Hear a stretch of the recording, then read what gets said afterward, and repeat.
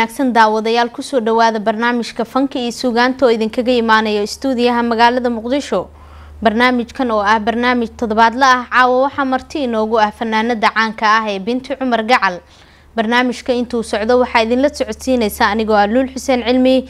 Dhanka kaamirada waxaa gacan ka geysanaya guuleed cabdisalaad qaarey khaalid maki xaaji banaadir iyo weliba cabdiraxmaan jaamac. Binti ku soo dhawo barnaamijka fanka iyo suugaanta luuley aada iyo aada ayaa umahadsan tahay barnaamijkana waa ku dhowahay waxaad ka mid tahay fanaaniinta soomaaliyeed kuwooda ugu caansan. Marka bal ka waran caawa mar haddii lagugu casuumay stuudiyaha universal ee magaalada muqdisho oo weliba xilli habeena ay tahay sidee u aragtaa luul aada iyo aada ayaa umahadsan tahay run ahaantii stuudiyaha universal oo aan igu cusbayn. Laakiin halkan sidii loo ay u imaadeen caawa igu horeyso yarka la holin waaye ee farsamadiisa lala yaabay maki xaaji banaadir wiilkiisa khaalid ayaa hore heese igaga qabtay. Haddana caawa waxaan ku faraxsanaha in weli isagii uu joogo. Marka binti waxaad ka mid tahay fanaaniinta soomaaliyeed ee kusugan magaalada muqdisho. Bal dadweynaha wax muga sheegi kartaa waayahagii faneed xilligii fanka aada soo gashay iyo weliba taariikhdii fanka aada ku lahayd run ahaantii waxaad dib ii celisay dhowr sano ka hor. Fanka markaan soo galayay waxay ahayd aan u malaynayaa toddobaatan iyo toddobadii. Xilligaas aan fanka soo galayana runtii dadka soomaaliyeed waxay u badnaayeen dad dhaqanku aada ugu ugu dhegan marka maadaama intaas fanka aada ku soo jirtay yaa fanka gacan kugu siiyey ama kaa caawiyey inaad soo gasho? Luuley wax meesha ku jira weeyaan. Run ahaantii fanka markaan galay horta intaanan fanka aan u soo gudbin iskuulka ayaan ka heesi jiray. Aniga iyo wiil la yidhaahdo axmed inshaar cabdi allah u naxariisto uu dhintay. Iskuulka ayaan ka heesi jirnay. Walow aan heesihii markaas aan qaadayay aan caawaba qaadi doono? Marka waa arrin muhiim ah maadaama adigoo arday ah fanka aada soo gashay qaabkee ku bilowday in aad heesto ma iskuulkaad ka heesi jirtay mise waxaa jiray goobo kale oo fanaaniinta da-da yar oo ardayda ah ay ku soo baxaan oo aada fanka soo gashay? Mayo iskuulkaan ka heesi jiray? Waxaaba aban la kulmay carqalad igaga timid iskuulka ka heesidiisa xagga waalidka oo iskuolkiiba waa layga reebay markaan inaan riwaayad dhigaayo la maqlay. Rabshadaan dhanba iskoolka maa keena waaba layga reebayba oo waalidka qaar ayaa ka soo horjeeday miya in fanka aada soo gasho bal noo sharax? haa waxay ahayd. Waagaas dadku dhaqanka aad bay ugu dheganaayeen sidaan kuu sheegay. Anigu hooyaday allah u naxariista may ogoleen inaan heeso. Laakiin aabbahay wuxuu ahaa nin muusiga baanda muusiga ka tirsan asna wuu dhinta allah u naxariisto wax fantastica waayo dhihi jiray inay heesto oo magacayga hadda lamaba yaqaan. Hadhow gabadha heesaysa binta cumar gacal ala leeyahay magacayga saas adigana waxaa lagu leeyahay gabadha fanaanta hooyadeed ayaa lagu leeyahay dhaaf gabadha ayuu dhihi jiray. Hooyo iskoolka iga reebtay guri jooga iga dhigtay marka maadaama iskuulkii lagaa reebay oo meelihii dhiirigelinta fanka aad ka helaysa ay tahay maxaa caqabad ah oo fankaagay soo wajahay? Waxaa soo wajahay dee guri joogaa layga dhigay. Marka waa dhuumeyn jiray iyadoon lay ogeyn oo hooyo ay ogeyn ayaan dhuuman jiray si aan u ogaado maxay ti raadiyaashaan dhegeysan jira barnaamij heesaargal la yidhaahdo ayaa ayaan raadiyaha ka maqlay. Kadibna hooyaan u soo gooyey heesaargal aan ka qayb galay. Haye markaa ma ku soo baxday oo ma ku guuleysatay maadaama kaalimo la isku qaadan jira markaas. Ha kaalinta koowaad aan galay. Laakiin iskuulka laftirkiisa ayaan ku guuleysan jira aniga. Oo waxaa tartami jireen iskuulaadka fifteen may oo kale maxay to raago ugaas vintu uno yacni waa la tartami jiray oo waxaa jira dad fanaaniin oo hadda tartanka igula jiri jiray sida zaara dawo xabiib xasan tooxo oo degmada yaaqshiid ayadana iskoola yaaqshiid u tartamaysay yacni tartankaasaa jiri jiray tartankii markii aan ku soo baxay waxaan u soo gudbay guddi waxaa ka ahaan jiray fanaaniinta gobollada waa beri kuwooda ugu caansan ayaa iskuulaadkana waxaa ka ahaan jireen guddi sida maxamed cabdulaahi ciise sangub khadiija cabdulaahi dalays allah u naxariiste maxamed cali kaariye xuseen oo faarax. Dadkaas saalax qaasin ayaa la soo diri jiray markii ay maxay iskuulaadka ay tartamayaan. Marka waxay markii ugu horreysay arkeen waxay gabadhaan meelo kale ka heesi jirtay maane. Hees uguma horeysa haa Een, marka maadaama barnaamijkaasi dhuumasho aada uga qayb galaysay markii aad ku soo baxday oo kaalinta aad gashay dhanka waalidka maxaad kala kulantay oo heesihii ma la isku dayay in lagaa joojiyo? Mase noo sheegi kartaa heeskaagii ugu horeeyey maadaama adigoo caqabado ay jiraan aad isku dayday inaad ku soo baxdo fanka. Heeskaagii kuugu horeeyey oo aad qaado. Heeska iskoolka aan ka qaaday maan ku aan wax kaaga sheegayaa kadibna waxaan u soo gudbiyaa heesta hergala heeska aan ka qaaday. Een heeska aan iskoolka ka qaaday waxaa la yidhahdaa ina kala gee macnaha isaga wuu idiidayay ana waan rab waan rabay marka heestaas miraheeda laxanka iyo muusiga intaba. Intaa waxaa sameeyey een, cismaan yuusuf balaag oo la igu yiri markii war igu dambeysay markii la kala cararay kadib wuxuu igu yiri waxa uu joogaa baa la igu yiri london. Walow aan weli akhbaarkiisa helin laakiin dad london ka yimid waxay yidhahdeen xaggaasuu joogaa. Qaabka muusika uu u raacayane waxaa sameeyey allah u naxariistee maxamuud goox qarboosh ayaa sameeyey allah yaraxma axmed ishaar cabdi iyo anigana waa ku luuqeynaynay in yar markaan kaaga sheego arrinila gudboon baa igubaysta waayan alla gaabsanaya gundahaaga taal wangodoomay dartaayon socoodahaade gamaa badiido jacaylka alla golongolay angarashadaydii waxaan talagooy inaan gurgalaayo gogolan wadaag aadana garaadka garti kusaa kanaqago idoo muusigana waa qaadi doonaa haduu ilaah yidhahdo waa tahay daawadayaal waxaan filayaa caawa cod ka baxsan ee binti cumar gacal inaad ka wada bogan doontaan kuna soo dhawaada heesta ina kala geey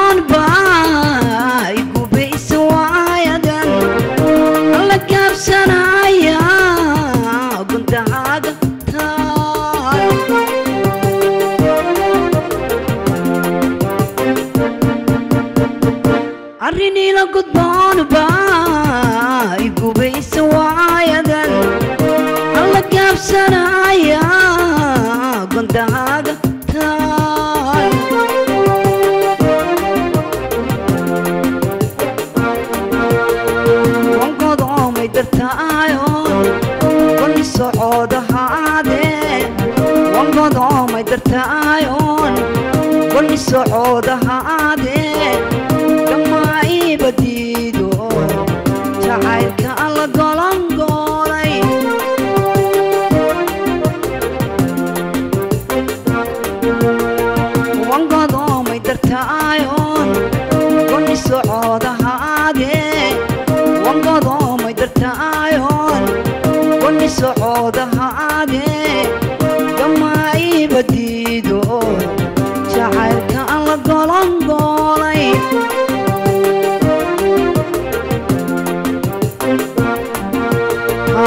aan garashadaydii waxaan talagooy inaan gurgalaayo gogolan wadaag adna garada ka garji ku saar kanaqa guddoonshow so gabagaabe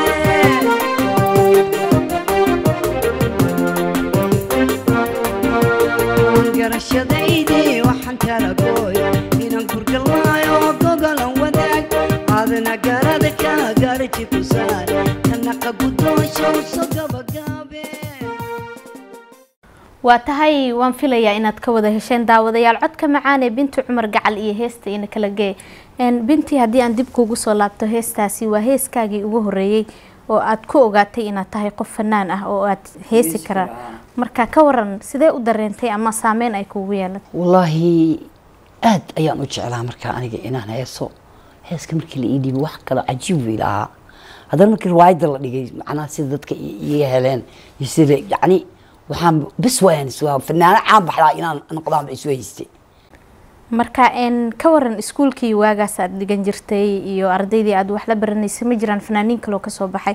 Iskuulkase iskuulku ahaa maadaama fanka la ogyahay in qofba dhan uu ka soo galaya Ah, runtaa waaye iskuulka wuxuu ahaa raago ogaas. Een, fanaaniin aan hadda dhowr qof kaaga magacaabi karo na way ka soo baxeen iskuulkaas. Een, cabdullaahi shariif baastu axmed shariif kiileer fanaaniin badanaa ka soo baxeen. Marka waxaa kaloo jiro heese badan oo aad adigu qaado oo weliba dhanka jacaylka ah. Heesahagana waxay leeyihiin saameyn gaar ah. Bulshadana aad ayay uga helaan inta badan. Heesaha aad qaado waxaa ka mid ah haddii aanan qaldaneyn heesta. Markaan baled xaawo joogay. Bal heestaas maadaama ay dhinacyo badan ka hadlayso miraha iyo laxanka intaba yaa sameeyay luuley aada iyo aada ayaa u mahadsan tahay. Heeskaasi allah u naxariistay waxaa sameeyey abwaan yuusuf aadan allaale. Oo abwaan caana ahaa. Isla mar ahaantaasna sameeyey riwaayaddii cilmiya caado oon aniga ku jiray cabdikhadar qaabka muusika oo u raacayo iyo laxanka waxaa sameeyey fanaan caan ah dalka gudihiisa iyo dibaddiisaba oo la yidhaahdo cabdi tahliil warsame ayaa laxankiis raaciyey. Hase yeeshee abwaankaas yuusuf aadan aad ayuu ii jeclaa fanka markaan ku jiray. Yacni binti binti waxaa loo dhibay binti ayuu i dhihi jiray. Heestaasi maadaama ay tahay hees saameynteeda ay sidaa u weyn tahay qisada heesta ay xambaarsan tahay ma dhanka abwaanka ahayd mise dhankaaga? Ma ay dhanka abwaanka ay ahayd. Way jiraan heese badan oo aniga dhin- dhinacayga laga sameeyey laakiin heestaasi waxay dhanka abwaanka wuxuu uga jeeday isagaa garan doona allah u naxariisto anigana waan ku luuqeeyey marka hiraha miraha heesta wax ma noogu sheegi kartaa? Wallaahi miraha heestaasi wuxuu ka bilaabanayay barbaarta yarkaan ka eegtay wiilkiisha iigu baqay inankii caashaqaan bereen anigu baaqbaq ku raacay anigoo beled xaawa jooga muxuu bari iiga yeedhay kolkaa boosaasa gaadhay muxuu burcayga heesay anoo beersi maraya. Hadduu badda boynka raacay inuu been ila jilaayay ada boqorow ogaye ibixiyo iga badbaadi haddan boogsadoon karaysto sidaan uga booda cashaq jacayl baa haddaanu boyo. Haddan in dambe u barorto haddaan baxsanow idhaahdo aniga barwaaqaba hay ka raacdo waad garataan u filan binti iyo codkeeda daawadayaal mar kale ku soo dhawaada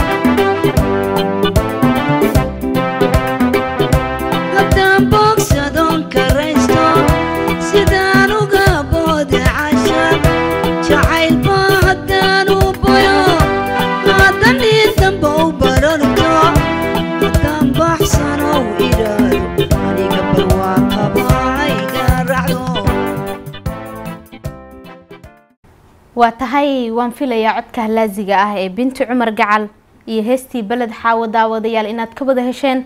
Welina waxaanu ku guda jirnaa barnaamijkeenii fanka iyo suugaanta oo idinkaga imaanaya stuudiyaha magaalada muqdisho.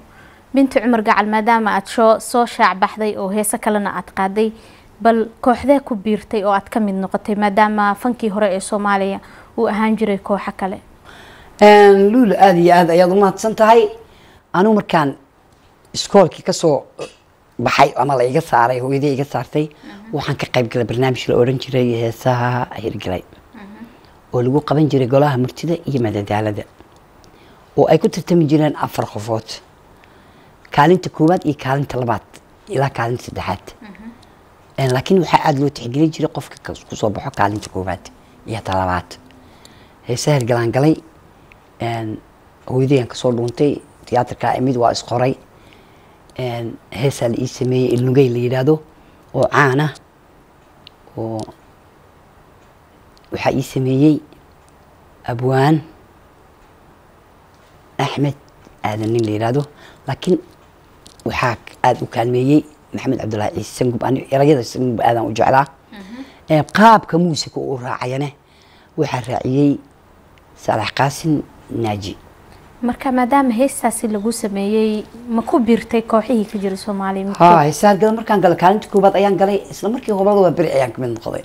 Ee qaranka. Ha marka heestii ilnugeyl maadaama ay ka mid tahay heesaha aad ku soo caanbaxday ee aad caanka ku ahayd miraheeda wax ma nooga sheegi kartaa oo ma xasuustaa wallaahi midaheeda haddaan isku dayo inkastoo hees meel dheer laga qaadayay ahayd hadda tabartii horena ma jirto markaas shabaabaa lahaa waa la dhalinyaraa inkastoo da-diiba la iska diiday luley waxaana masnaadoon inugeyl daraadii afkaa gacanta saaro. Jacayliga adkaaye nabarada afkoodiyo aramidisi ogadaa ku faaftaan la adkaysan waaye ifka kaan ka doortow ibtiladani haysiyo edaadka caashaaq adigaygu beeraay markaan aragtayowga inaan ku ildaranahay waxaan urka kaa jirin ila soo abaaraay hadda dabag banaaniyo igu dhaaftay oomane hadda dabag banaaniyo igu dhaaftay oomane idishaya asaaga dadka kaadu jeceshahay adduunyada dusheedana istareex ku noolow aniguna ayaankey haa nafta adiga mooye aadmiga intaa la-eg ogolaani weydo eebadii jacaylka oofahay goyso ololaan baxaynba uurkayga jiifo ehelkaan lahaa iyo. Dadkii kale irdhowno allay bada jacaylkiyo luulaynaan kugu dulooyaa waa tahay binti cumar gacal heestan miraheeda aadka u macaan. Marka abwaanka ulajeedada uu kalahaa maxay tahay maadaama heesaha inta badan taariikhda leh ama jacaylka ah qofba uu si ku soo galo? Luuley waa su'aal meesha ku jirto inta badan heesaha wax dhacay iyo wax dhici doonay ka sheekeeyaan sidoodaba abwaanka wixii ku dhaco isagaa yaqaan wuxuu uga jeeday. Annagana ma sii weydin hadee haddii ugu badato waxaan dhanaa maxaa uga jeedaa oo markaas laga biqi jiray inuu heeskii si kaleeto loo sarifto ha abwaankan wuxuu ii sheegay inuu gabrow jeclaa ay ka dhimatay aakiro iyo uu ka sheekeynaya. Macnaa aakiro aboor aa ku cunaya almiino ma ay fahamtid camal marka heeskaasi sidaas ayuu ahaa. Abwaankina markaan weydiiyey saasuu igu sheegay inuu gabar uu jeclaa ay ka dhimatay. Welina daawadayaal waxaanu ku guda jirnaa qaybihii dhexe ee barnaamijka fanka iyo sugaanta. Maamo binti waxaad ka mid tahay fanaaniinta soomaaliyeed ee aan ka bixin dalka gudihiisa intii colaaduhu ay jireen islamarkaana ay dhibaato ka soo gaartay xubin ka mid ah jirkeeda. Marka bal dhacdadaasi wax ma nooga sheegi kartaa oo luley aada iyo aad ayaad u mahadsan tahay waa run dalka kama bixin aniga ninety laabtunaw wixii qoranna way dhacayaan. Haddii maraykan dhaygeeyo hataa intan way igu dhici lahayd. Kulli shay maktuub min allahi baa layihi maktuub min allahi. Waxaan ka imid shirkii carto. Labada kun iyo labadiina aheedaan jeclahay. Shirkii cartaan ka imid. Anigoo aroos u socdo. Suuqa beerta bee la yidhaahdo nin taagnaa oo laigu yiri dakano ayuu hore u galay. Ayaan la kulmay aarsigii asaga laga aarsanayey xabada ani la ii qastay maysan ahayn. Horena waa u sheegay media badan baan ka sheegay. Dadaa igu dhaheen markii shirka carta la joogay oo ani dubayaan aaday. Haddaa dubaydaad iska joogi lahayd kuwa ma dhici lahaynaa la dhahay war waxaan dhaha maraykan haddii la geeyo way igu dhici lahayd intan qofka waxaa qofka waxaa la rabaa wixii ilaahay ku keeno inuu ku mahadiyo uu ku shukriyo labadaa lug ayay igaga dhaceen mid baan neerfaha la oo aan jiis ahay haddaa dee ilaahay ii qoro dalkana wax loogama qaban karaa laigu yiri haddii ilaahay ii qoro dibaddaan aadi doonaa markaas haddaan dibadda aada hataa anima soo joogayo haybad waxaad ku leedahay dhulkaaga hooyo waana lama horaane hagarley wax ugu qaba ayaan aaminsanahayba qof walba dalkiisa inuu dal u yahay ayaan aaminsanahay. Shacabkii markaa dhibaatada ku dhaceysay dalka dhibaato ayuu soo maray. Shacabka dhibaatada ay ku dhaceysaana ka mid ahay aniga. Marka qeybtii shacabka ayaad ka mid tahay marka bal ka waran dagaaladii iyo saameyntii bulshada ay ku yeeshteen maadaama hadda wadankii xaaladiisi uu degan yahay ammaankiina uu hagaagayo dad badanoo qurbaha jirana ay dalkii dib ugu soo laabanayaan. Bal ka waran muuqaalkii hore ee muqdisho aad ka haysatay iyo hadda maxaa iskaa bedelay wallaahi waxaad moodaa horta colaadi ma fiicna. Nabad wax ka fiican waa la waaye ilaahay nabadda haynoo badiyo. Colaadaha kala gaabin bay leeyihiin. Haddii colaad jiri lahayn hadda laxaadeyda waa aan qabi lahaa laakiin colaad baa dhacday. Intii ilaahay qoray inay ku dhintaan ayaana ku dhimatay. Intii ilaahay qoray inay ku naafoobaan way ku naafoobeen. Haddana ilaahay hadduu joojiyo way istaagaysaa insha allah. Haddaba saan lama haysan. Ilaahay waxaan ka baryaynaa dadka soomaaliyeed dad isjecel oo diin iyo dhaqan laayay ahaayeen. Jacaylkii soomaaliya allah soo celiya ayaan leeyahay. Ilaahay khaatimada ha noo suubiyo. Ilaahay dalka haynoo dejiyo. Ilaahay ummadda iimaanka ha gelsho iimaanka waa wax weyn. Haddana saas ay tahay soomaalida isma necbana weli. Iyadoo saas colaaday u dhacday ayaa laisu kaalmeyn jiray. Aniga dalkan iga weydiye wax. Soomaali si kastoy tahay nacayb ilaa xad ay isuma qaadayso. Soomaalida dhaqan le oo diin la waayo. Haddana waxaan ilaahay ka baryaa baqaydii dhiman inuu ilaahay baqaysan inooga dhigo. Insha allah marka maadaama qeybihii dambe ee barnaamijka aanu soo gaarnay ma jiraan heeso kale oo aada ugu talagashay waxaan ugu talagalay hees la yidhaahdo soo laabo midhaha iyo laxanka heesta ayaa sameeyey? Soo laabo waxaa sameeyey cabdi bashiir indhabuur. Laxanka waxaa raaciyey cabdiraxmaan muuse karooje nin la dhooran jiray oo kooxda heegan ka tirsanaa. Een, waxaan loo sameeyey jacayl qof ka maqan. Ayay soo laaba ayay leedahay qofkii adigoo lilaahaya marka qofka adiga ma ahayn sida anigaan ahaa oo heesta ma qisada adiga kugu dhacday soo laabo anaa laiga sameeyey macnaa qof aan jeclahay ayaa iga tegey marka qisada sida markii loo geeyay heestaan horuba ka imaaday jacaylka hore dhagehiis waxba maqli jireen jacaylka hadda jira dhegahooda waxba ma maqlay marka qisada heestaasi maadaama adi ay kugu dhacday bal wax badan inooga sheeg siday wax u dhaceen Een, macnaha ilmahayga aabahood ayaan saaxiib lahaa waxaan wada soconay adiga hal sana iyo sideed bilood markaas. Wuxuu tegey meel la yidha qofkaba tuu dhoofo kaliya ma ahaan jirin jacaylka. Wuxuu aaday meel dhuusa mareeb la yidhaahdo laakiin aniga markaas waxaan u haystay wax wey meel dheer inuu jiro. Haa. Wuu ku soo daahay macnaha ayadiisa u tegey wuu ku soo daahay.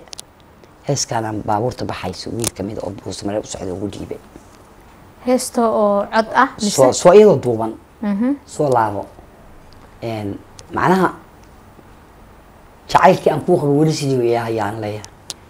Marka ileen labi laba malahey ileen haddaad adigu ladan tahay aanu luma jacaylkee hadduu leexa kula yahay ani waanu liitaa soo laabo adigoo lilaahiye soo laabo axdi mala aha laakiiney soo laabo laabi laba malahe miloogtay isagoo muusigan waa la maqashiinayaa dadka marka abwaankii ku sameeyey miraha heestan oo aada u macaan ma adigaa ula tegay qisada oo u sheegay mise isagaa kula maagayba oo ku ogaaday xogtaada? Maya anigaa u sheegay in macnaha maxaa beryahan waaba? Si kalaa ila noqotay camal uu yidhi beryahan jacaylkii baa iga maqan asaa iisoo sameeyey marka.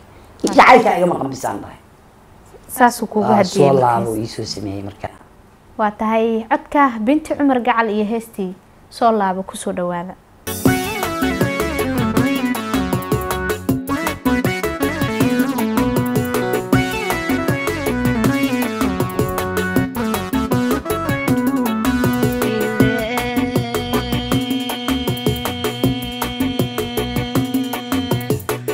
labi laba malahey ileen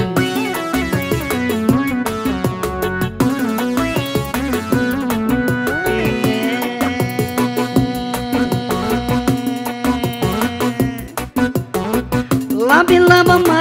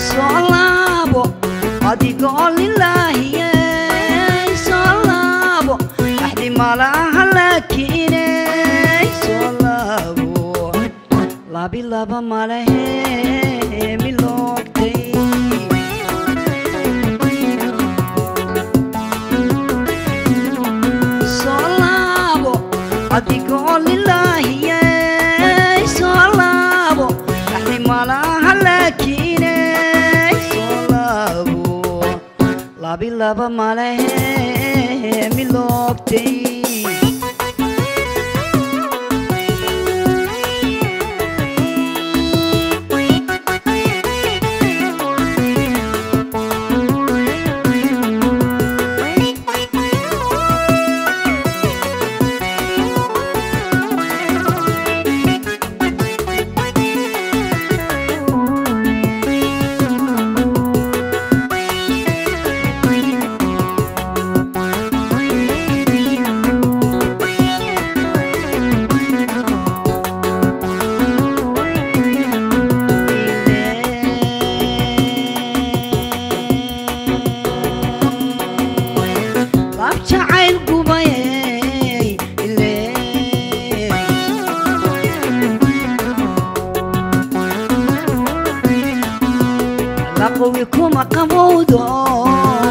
waxaashada magayse idiin waxay ka dhigataa lugooyadii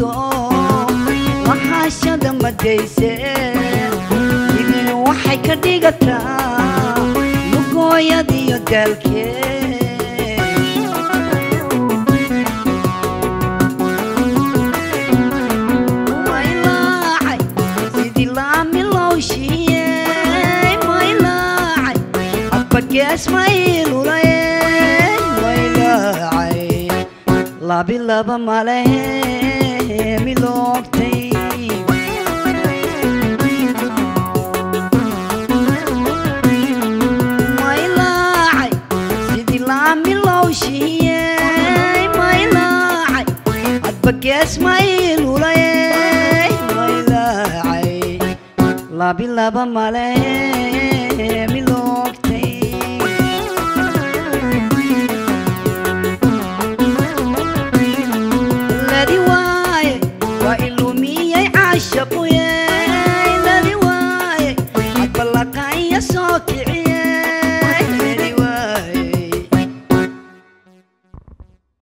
waa tahay heestaa soo laabo adigoo lilaahiya iyo binti cumar gacal codkeeda macaan. Waxaan filayaa daawadayaal inaad ka wada bogateen qaybihii ugu dambeeyay ee barnaamijka. Ayaanu soo gaarnay binti maadaama caawa barnaamijka sugaan aada u macaan aada ugu soo bandhigtay daawadayaasha ku daawanaya hal iyo laba adigoo fursadan ka faa-iideysanaya asxaabtaada ayaad si gaara u salaami lahayd. Lula aada iyo aada umahadsan tahay. Waxaan salaamayaa marka hore. Dhammaan caruurtayda. Aan anigu dhalay intaan waalid ku ahay. Guud ahaan magacyadooda ma soo koobi karaayo. Waxaan salaamayaa asxaabta ingiriiska joogto. Waan ugu jecelahay. Cabdiraxmaan macalin wiil la yidhaahdo cabdi- cabdiraxmaan dhugdhuglaa loo yaqaana cabdi dhugdhuglaa loo yaqaanaa. Dhugdhugle hadda waxaan jecelahay inuu nairobi joogo. Waxaan leeyahay ila dhegeyso salaantaan kuusoo diraayo waxaan kaloon salaamaya dhammaan fanaaniinta london joogto oo hal hal aanan u sheegaynin guud ahaan. Si gaara waxaan u salaamayaa jookle iyo walaalihiis. Waxaan kaloo salaamayaa gabar aan habaryar u ahay oo la yidhaha maryan maxamed aadan oo iyadana joogto london. Walaashay fartuun cali suug iyadana london joogto. Wiil aan habaryar u ahay oo sweden jooga isna oo mahad la yidhaahdo waxaan kaloo salaamayaa cabdisamed oo sweden joogo oo soomaalida aada ii xiriiriso ka mid ah ayaan salaamayaa. Waxaan salaamaya dhammaan reer cabdi iiko oo dariska iga ah iyo dariska kale aan ku leeyahay unujef ayagana guud ahaan waan salaamayaa. Adigana waan ku salaamayaa. Waad mahadsan sagalna waan salaamayaa. Waad mahadsan tahay. Waxaan filayaa asxaabta aada salaantoo dhan inay kaa gaartay mid taa lamida ayaanu kuusoo gudbinaynaa. Qaybihii dambe ee barnaamijkana waan soo gaarnay. Binti waxaad ka mid tahay fanaaniinta waxaan walaashay nuurto cumar gacal oo laga hela kanada. Fanaaniinta waa beri waxaa salaam fanaaniinta hobalada waa beri ee dalka dibadiisa joogaan iyo gudihiisaba waan salaamayaa. Waan filayaa in kulli ay kaa guddoomeen marka qaybihii ugu dambeeyey barnaamijkaanu soo gaarnay gabagabadii barnaamijka maxaad is leedahay fanka maadaama in muddo aad ku soo jirtay waa laga dhaxlaa fanka? Wallaahi qof fan ah oo taajira weli ma aragani. Fanka magac baa laga dhaxlaay maal lagama dhaxlo. Kuwa hadda soo galayo aan ogeyn saawo ogaadaan. Fanku maal qof fanaana oo maal uu qabaa la leeyahay aan weli ma arag. Macad kuwii iiga horreeye laakiin magaca baan qabnaa. Magac mawlaa ku siiyo yiri nin xamara maalna ma- mawlaad u qabtaa waa runtiis. Macnaha nin abwaanan hadda kahor wuxuu yiri hub la'aan ma dirirtaa hoy la'aan ma gamaadaa hanti la'aan ma dheragtaa intaasba qofka fanaanka ayaa ah. Hanti la'aanna waan dhergaa binti cumar kaxal intaas umada. Hoy la'aan waan gami karaa meeshaan tagoo soo dhawaa binti cumar kaxal ii kala ordahay hanti la'aan waan dhergaa hoy la'aan waan gam'aa hub la'aanna waan diriraa. Oo yani codkayga haddaan damco inaan qof dacaayadiyo mir mirlaan ka dhigaa yani qofka qof kastoo fanina waa saas hub la'aan waa diriri karaa saas marka uu ogowluley marka heesta ugu dambeysa ee caawa aada dooneyso in barnaamijka fanka iyo sugaanta aada ku soo gabagabayso waa heeste? Wallaahi waxaa la yidhaahdaa kaafiyihii qalbigow kalsoonihii ifkow kaan tiigsanayow kaalayow kaalay koolkooli nafteyda kaalayo iyo waxaa waxaa ila qaadayey allah u naxariistay axmed inshaar cabdi oo dhintay waxayna ku jirtay riwaayadii aan kaaga sheekiyey. Qir oo qarin qir oo ahaa qarin jacaylka uu sameeyey. Abwaan cismaan yuusuf balaag marka miraha heestana abwaanka miyaa lahaa ayaa lahaa ah, laxankana qarbooshaa lahaa. Waa tahay heeska ugu dambeeya ee caawa iyo codka binti cumar gacal. Ayaanu idinkaga tegaynaa daawadayaal barnaamijkuna waa barnaamijkii fanka iyo sugaanta intuu socday waxaa qeyb weyn ka qaatay dhanka kaamirada guuleed cabdisalaad khaalid maki xaaji banaadir iyo weliba cabdiraxmaan jaamac salaad. Inta aan barnaamij midkan oo kale ku kulmayno toddobaadka xiga waxaanu idinkaga tegaynaa nabadey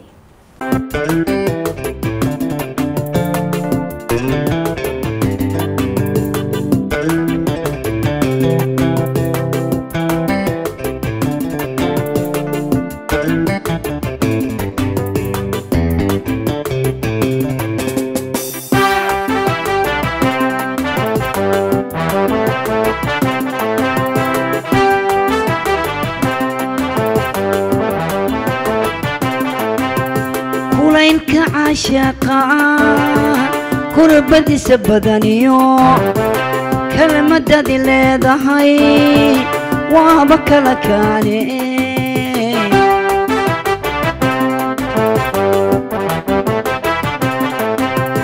kulaylka caashaqa kurbadiisa badaniyo kelmadadi leedahay waaba kala kaane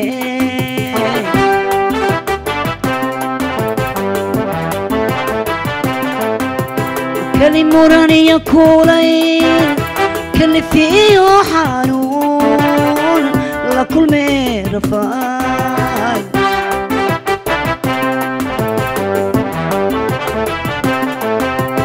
kali muraniyo kuulay kalifiyo xanuun la kulmee rafaay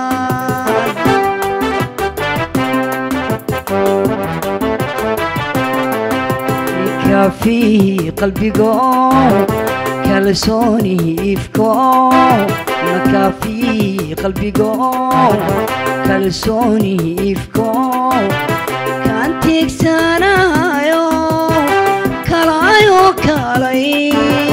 كل كوني نفتينا.